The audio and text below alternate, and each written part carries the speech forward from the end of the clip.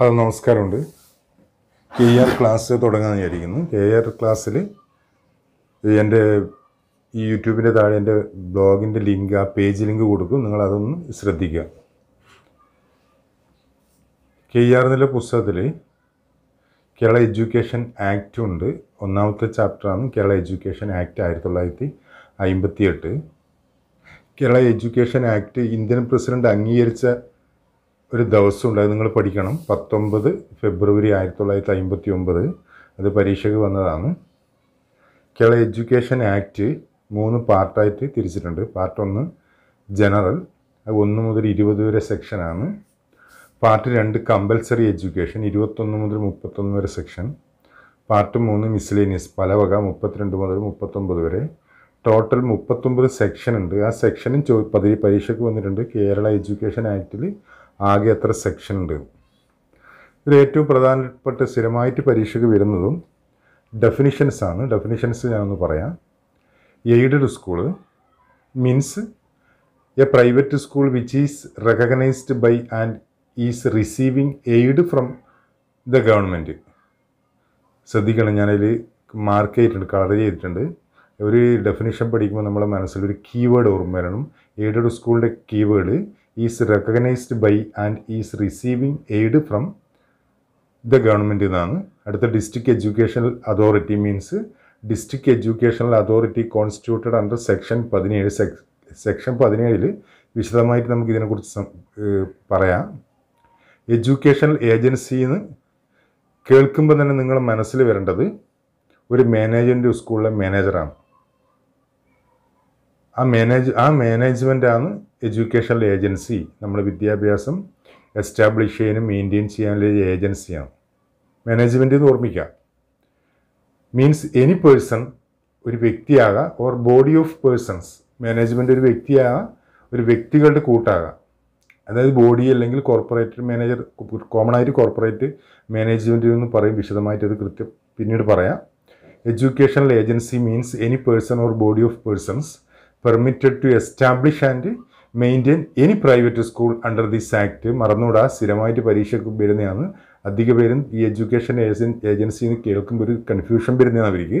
അതുകൊണ്ട് മനസ്സിലാക്കുക മാനേജ്മെന്റാന്ന് ഓർമ്മിക്കാം existing school means any aided recognised or government school established before the commencement of this act and continuing such as at such commencement ശ്രദ്ധിക്കണം നിലവിൽ Kerala education act നിലവിൽ വരുമ്പോൾ ആയിരത്തി തൊള്ളായിരത്തി അമ്പത്തൊമ്പതിൽ നിലവിൽ വരുമ്പോൾ കേരളത്തിൽ നിലവിലുണ്ടായിരുന്ന അതാണ് എക്സിസ്റ്റിംഗ് ഇനി aided school recognised school government സ്കൂളിനാണ് existing school എന്ന് പറയുന്നത്. Local authority means a panchayat at any level constituted under section നാല് of the Kerala panchayat raj act ആയിരത്തി തൊള്ളായിരത്തി തൊണ്ണൂറ്റി നാല് or a municipality constituted under section നാല് of the Kerala municipalities act ആയിരത്തി തൊള്ളായിരത്തി തൊണ്ണൂറ്റി നാല് മറന്നുകൂടാ ലോക്കൽ അതോറിറ്റി എന്ന് പറഞ്ഞാൽ പഞ്ചായത്ത് അല്ലെങ്കിൽ മുനിസിപ്പാലിറ്റി കീഴിൽ വിദ്യാഭ്യാസത്തിന് വേണ്ടിയിട്ട് ഒരു ലോക്കൽ അതോറിറ്റി രൂപീകരിച്ചിട്ടുണ്ട്. ലോക്കൽ അതോറിറ്റി സ്ഥിരമായിട്ട് മൾട്ടിപ്പിൾ ചോയ്സിന് വരുന്ന അന്നേരം അതിന്റെ കീവേഡ് പഞ്ചായത്ത് ഓർ മുനിസിപ്പാലിറ്റി ആയിരത്തി തൊള്ളായിരത്തി തൊണ്ണൂറ്റി നാല് എന്ന് ഓർമ്മിക്കാം. മൈനോറിറ്റി സ്കൂൾ ചോദ്യകർത്താക്കൾക്ക് ഏറ്റവും ഇഷ്ടപ്പെട്ട ഒരു ഡെഫിനിഷൻസ് ആണ് മൈനോറിറ്റി സ്കൂൾ എന്ന് പറഞ്ഞാൽ നിങ്ങൾക്കറിയാം. മീൻസ് മൈനോ മൈനോറിറ്റി സ്ഥാപിച്ച സ്കൂളാണ് മൈനോ minority means school of their choice established and administered or administered by such minorities as have the right to do so under clause one of article മുപ്പത് of the constitution Indian കോൺസ്റ്റിറ്റ്യൂഷന്റെ article മുപ്പത്തൊന്ന് പ്രകാരം രൂപീകരിച്ചതാണ് minority school keyword clause one of article മുപ്പത് of the constitution prescribed ഒരു പ്രാവശ്യമായിട്ട് prescribed definition ചോദിച്ചിട്ടുണ്ട്. Means prescribed by the rules അതായത് റൂളിൽ കേരള എഡ്യൂക്കേഷൻ റൂളിൽ പറഞ്ഞിരിക്കുന്നത്. Made under this act rule നിർമ്മിച്ചിരിക്കുന്നത് കേരള എഡ്യൂക്കേഷൻ ആക്ടിന്റെ കീഴിലാണ്. ആ ആക്ടിന്റെ കീഴിൽ നിർമ്മിച്ച റൂളിനെയാണ് പ്രിസ്ക്രൈബ്ഡ് എന്ന് ഉദ്ദേശിക്കുന്നത്.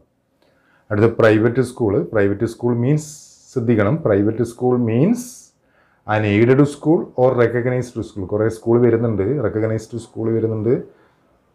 എയ്ഡഡ് സ്കൂൾ വരുന്നുണ്ട്. പ്രൈവറ്റ് സ്കൂൾ വരുന്നുണ്ട്. പ്രൈവറ്റ് സ്കൂൾ നമ്മളെ മനസ്സിലെന്താണ് ഒരു എയ്ഡഡ് സ്കൂൾ എന്നല്ല. അതിന്റെ കൂടെ നിങ്ങൾ ഓർമ്മിക്കേണ്ടത് പ്രൈവറ്റ് സ്കൂൾ എന്ന് പറഞ്ഞാൽ എയ്ഡഡ് സ്കൂൾ മാത്രമല്ല ഒരു അൺഎയ്ഡഡ് സ്കൂൾ റെക്കഗ്നൈസ്ഡ് സ്കൂളും പെടും. അന്നേരം private school means unaided school or recognised school okay അടുത്ത recognised school means a private school നേരത്തെ പ്രൈവറ്റ് സ്കൂൾ റെക്കഗ്നൈസ്ഡ് സ്കൂൾ പെട്ടില്ലേ? അതെ. റെക്കഗ്നൈസ്ഡ് സ്കൂളിനെ കുറിച്ചിട്ട് വേറെ തന്നെ പറയുന്നുണ്ട്. Recognised school means a private school ഒന്നുമില്ല. Recognised by the government under this act പ്രകാരം റെക്കഗ്നൈസ്ഡ് ചെയ്ത പ്രൈവറ്റ് സ്കൂൾ തലവേദന തലയിലെ വേദന എന്ന് പറഞ്ഞ കണക്ക് തന്നെയാണ്. റെക്കഗ്നൈസ്ഡ് ഗവൺമെന്റ് റെക്കഗ്നൈസ് ചെയ്ത സ്കൂൾ റെക്കഗ്നൈസ്ഡ് സ്കൂൾ ഓക്കെ ഇനി സ്കൂൾ എന്ന് പറഞ്ഞാൽ ഇതുവരെ ഡെഫിനേഷൻ പരീക്ഷയ്ക്ക് വന്നതായിട്ട് കണ്ടില്ല. എന്നാൽ സ്കൂളിനെ കുറിച്ച് നമ്മൾ അറിയണമല്ലോ. School includes the land buildings playgrounds and hostels of the school and the movable properties such as furniture books apparatus maps and equipments pertaining to the school അതാണ് കോമൺ ആയിട്ട് സ്കൂൾ എന്ന് പറയുന്നത്. സ്റ്റേറ്റ് എന്ന് പറഞ്ഞാൽ means the state of the Kerala ഇത്ര ഇതിൽ നമ്മൾ definitions എല്ലാം തീർന്നു. ഈ ഡെഫിനിഷൻസ് നിങ്ങൾ നിർബന്ധമായിട്ട് പഠിക്കണം.